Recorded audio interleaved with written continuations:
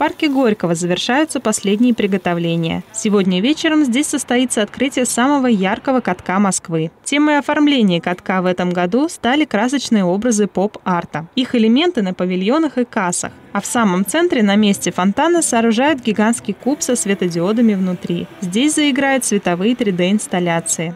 На территории катка будут работать четыре пункта проката, магазин сувениров, кафе и рестораны. Построена и хоккейная коробка, она же площадка для корпоративных мероприятий. Работать каток будет каждый день, кроме понедельника, с 10 утра до 11 вечера. Стоимость билетов в будни днем 200 рублей, вечером 300. Выходные дневные посещения обойдутся в 300 рублей, вечерние в 500. Откроется Вау-каток сегодня в 7 вечера. Это событие ознаменует начало зимнего сезона в московских парках.